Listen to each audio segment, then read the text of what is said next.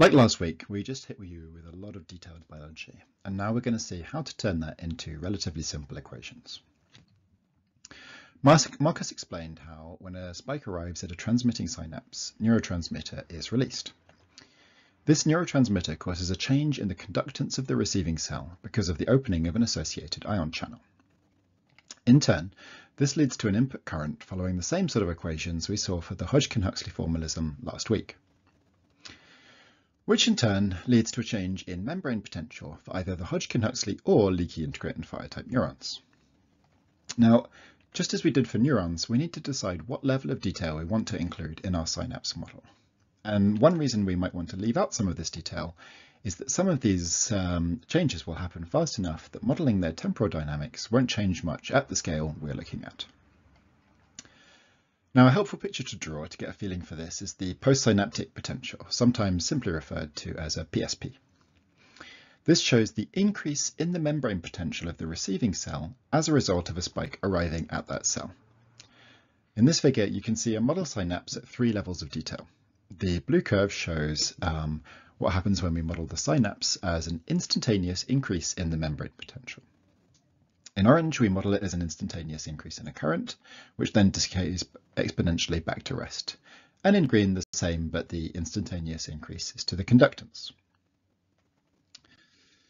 Now let's start by talking about how we can directly model the dynamics in terms of conductance, current, or membrane potential, and we'll come back to talking more about neurotransmitter release dynamics in a moment.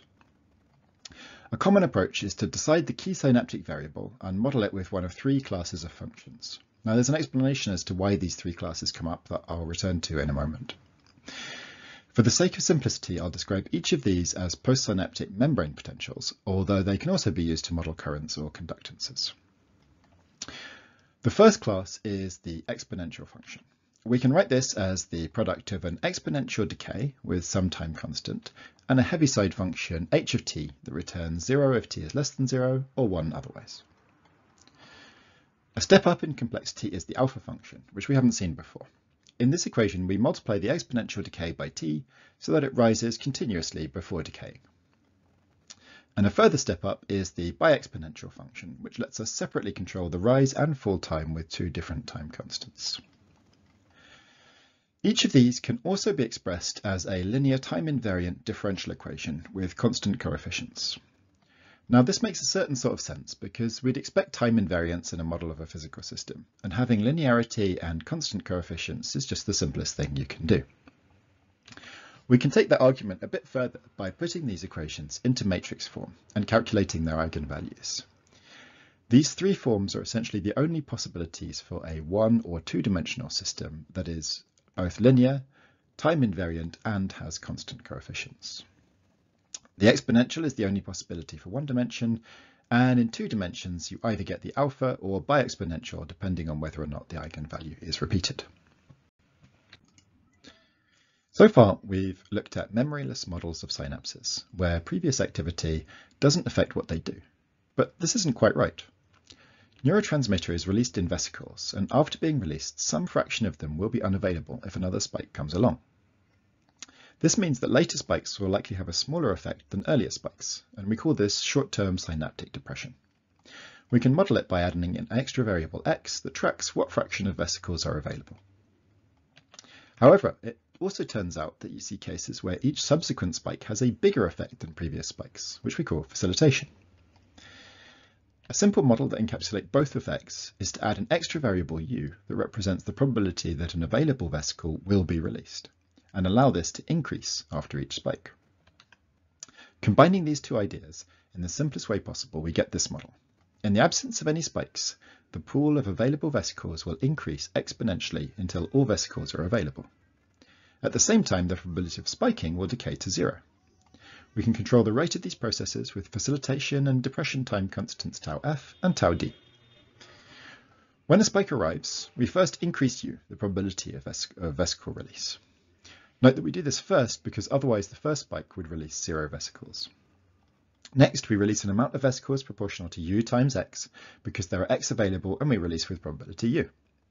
In this model, I've had this directly modify the membrane potential v, but as in previous slides, it could modify other variables. And then finally, since we've released u times x vesicles, we now have to remove those from the available pool by subtracting that from x. And here's what those variables look like in these two cases.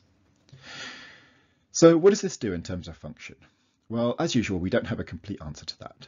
One thing for sure is that it gives synapses a longer memory than they would otherwise have, which is likely to be useful in many cases. It can also allow the neuron to have richer spike frequency dynamics, allowing them to act as low, high, or bandpass filters and do gain control. And there's a bunch of other ideas people have suggested, and I've put some links in the reading list for where you can read more about this and other models of short-term plasticity. As Marcus mentioned, synapses can be either excitatory or inhibitory. There are a range of different ion channels and dynamics giving rise to different sorts of excitatory or inhibitory synapses. The simplest model is just that excitatory synapses lead to an increase in some variable, while inhibitory synapses lead to a decrease. However, when synapses are modeled with detailed ion channel dynamics and spatial structure, things can get more interesting. And shunting inhibition is a good example. In shunting inhibition, a spike causes a local increase in conductance, but with a reversal potential near to the resting potential. This means that on its own, in the absence of any other input, you wouldn't observe any effect on the membrane potential. However, it will reduce the effect of an excitatory synapse on the dendrite while having no effect on an excitatory synapse on the soma or on a different dendritic branch. This means that it can have a selective, divisive effect on excitatory inputs, something you wouldn't easily be able to achieve otherwise. Uh, another interesting channel type is NMDA, which can't be modeled linearly. The effect of NMDA requires the receiving neuron's membrane potential to have recently been high, and this may be important in learning. Talking of learning, I should mention long-term plasticity here, but only briefly because that's the main topic of week four. Marcus mentioned Hebbian rules, and you can generally model them by adding some differential equation for the synaptic weight W as a function of the activity of the presynaptic and postsynaptic neurons. And we'll talk about some of the particular models later. There's also spike timing dependent plasticity, or STDP. It's been observed experimentally that particular pairings of pre and postsynaptic spike times can lead synapses to get stronger or weaker. We can model this by increasing the weight by some delta W that depends on the timing difference and that can be made a reasonable fit to experimental data. This particular curve, where the synapse gets stronger if presynaptic spikes tend to come before postsynaptic spikes, could be thought of as encouraging networks to care about temporal causality. Okay, that's all I'm going to say for now about that, but we'll be seeing much more about this later in the course. As always, there's a lot more that could be said about modelling synapses. I'll just briefly mention two before closing this video out. The first is synaptic failure, and it's an easy one to model because we can just add a probability of failure to each synaptic event. The second is gap junctions, and this is where two neurons form a direct electrical connection rather than via a chemical synapse. These again can be straightforwardly modelled as just another current, proportional in this case to the difference in membrane potentials. There are, of course, more complicated models too.